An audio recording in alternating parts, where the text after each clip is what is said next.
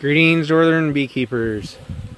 Here we are, Saturday, March 23rd. Got a little 48 degree weather. Temps are looking really great. bees are out cleansing. I got to get in the hive, try to clean out some of the dead bees.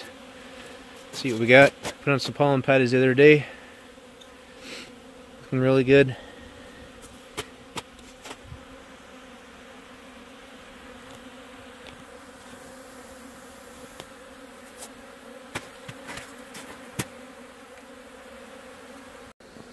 Okay, so uh, crack this hive open. we got uh, eggs right here on this third frame. I'm not going to go any further into the hive, but there are eggs, so she has started laying here in the last day or two, which is great. Get some fresh bees going. I opened up and cleaned up the bottom box. There were some dead bees on the outer frame. Everything else was looking good. I would say we got solid uh, eight frames of bees here. These girls are looking really great. Greetings Northern Beekeepers again. Sorry I couldn't take you on the journey there. It's kind of cold. I don't have a phone holder yet for the good movies. I gotta get one purchased. Uh, overall the hives are doing really well. I was only able to break one down as, to see eggs. But uh, looks like the eggs are really fresh like within the last day. So one queen is definitely laying. Uh, all the others looked really good. I had one that's basically completely full of feed yet. And another one that uh, turned out was only a 5 frame nuc. I thought I had a 10 framed double, uh, 5 over 5. Turns out it was just 5 frames, the bottom 5 frames were empty, so it survived really well. It's looking good, so that'll definitely be one I'll be breeding queens off of this year. And a couple others here look really good, so there'll also be breeder uh, breeder colonies. Probably take some uh, eggs off them and graft some queens here before too long. Um, weather this week is looking like it's mostly going to be, uh, you know, mid mid 40s, maybe a couple 50s with some rain and clouds. Um, a lot of snow on the ground yet, if you can see in the background there. A lot of snow. Uh, spring is still a couple weeks away, that's for sure.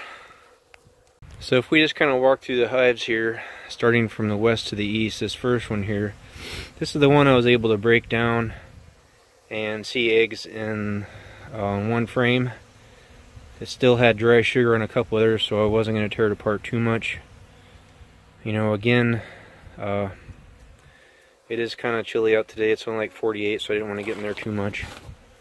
But, you know, it's looking pretty good there with that one. Um, looks like I got the hole on the wrong spot. I have to flip that around pretty quick. This next nuku is uh, doing pretty well. Uh, not too many dead bees in the bottom.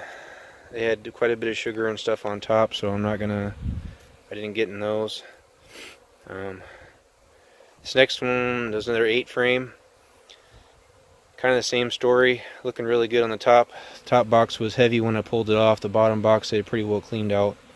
There was a little bit of feed left. I would say probably three and a half frames. Still had good feed left so they're going to be in pretty good shape come springtime. Uh, this next 5 over 5 kind of same story. They had uh, a little bit of feed on the bottom. Not too much but a little bit Top box felt pretty light, but uh, I put that pollen patty and they do have some dry sugar on top. So they're in pretty good shape. This hive here, it's a 10 frame. Um, I just cleaned the bottom out and uh, that was it. I couldn't get in the top. They were getting pretty feisty. So I didn't really do much with them. I didn't bring smoke out here with me today. It's just a quick in and out. Uh, this last nuc this was the one that uh, turned out to be only a five framer. Uh, when I put these on in the winter, I just kind of randomly grabbed three of them that felt kind of heavy. Um, this one felt heavy going into the fall. I never really looked in it, but uh, it turned out to just be a five framer. Uh, all the frames on the bottom were not drawn out. it was just uh, five on the top. Left them with some dry sugar for over the winter and put a pollen patty on here a couple days ago, so they're looking really good. And uh, this last hive here, these uh, genetics, they've survived the last three years here in Wisconsin. No treatment. Uh, this last winter was the coldest uh, that they had survived. Uh, we got down to minus 31. Minus, uh, 48 wind chill, I think is as cold as we ever got. But uh, the bottom box had a lot of feed left in it. Uh, I would guess maybe five frames. The top box felt super, super heavy. I wasn't able to get into that because there's a lot of sugar left on top. But they felt really, really heavy. They barely even touched the dry sugar. So uh, these genetics here, they're an Italian. Uh, but they're doing really well here in Wisconsin. So I'm definitely going to be breeding off these girls. They're looking really good. Like I said, I haven't treated uh, this colony in three years. This last summer I pulled uh, five splits and I also got 30 pounds of honey. I did feed there starting late in the fall just to get them built up because I had taken so much from them. Um, I did pinch the queen because she wasn't performing. Uh, the new queen, she did awesome. Same genetic line, but they're doing great, so that'll definitely be a breeder colony. Otherwise, all the bees are looking really good here in uh, Wisconsin.